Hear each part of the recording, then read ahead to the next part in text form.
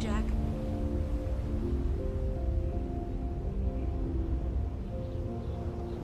I changed my mind.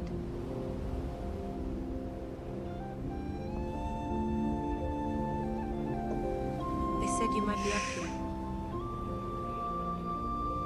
Give me your hand.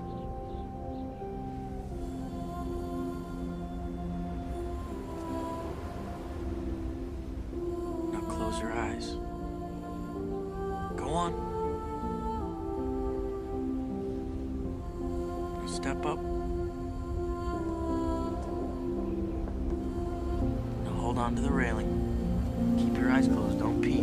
I'm not.